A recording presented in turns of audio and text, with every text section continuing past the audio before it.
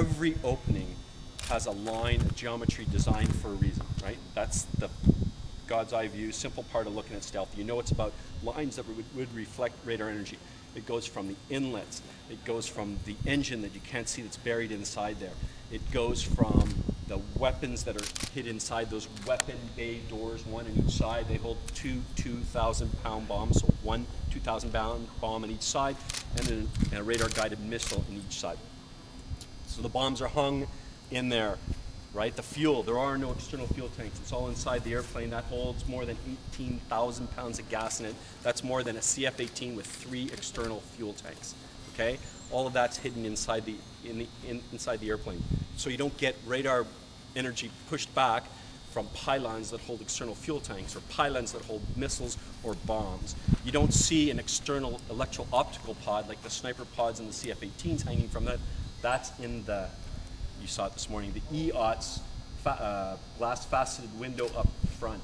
Everything about this jet has stealth from start to finish. It's the third major airplane that Lockheed Martin has built that's stealthy, from the F-117 to the F-22 to the F-35. When we have the conversation about maintaining stealth over its lifetime, we learned.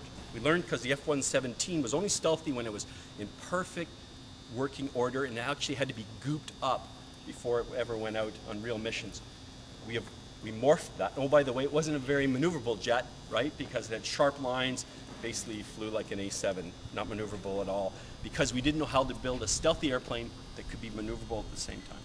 We morphed that into the F-22. So the F-22 now is a highly maneuverable airplane.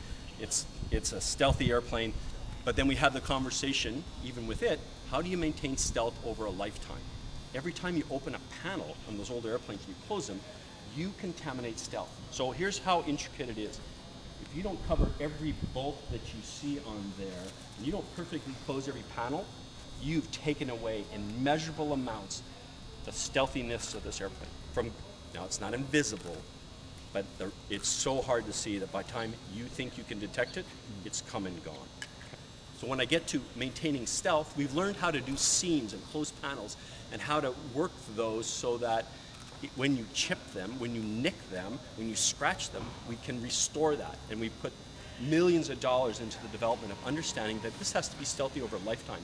And if you think it's harsh in Canada in the winter, imagine being on an aircraft carrier where there is no space and there's lots of big guys with lots of machinery and you're going to ding stuff, okay?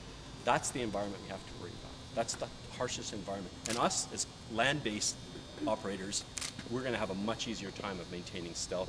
And oh, by the way, when someone tells me it can't go fast, we have been to 1.6 Mach, 700 knots, maximum G, which is 9G in this jet, full of bombs, full of missiles, full of gas.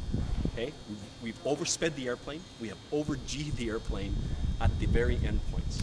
So there's the conversation about fast enough go far enough.